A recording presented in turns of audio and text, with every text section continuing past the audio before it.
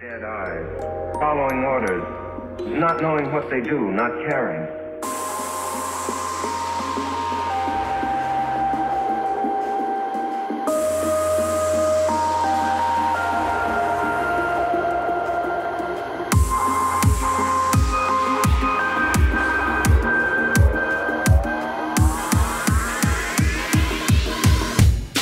Who have the power to bring him back to life.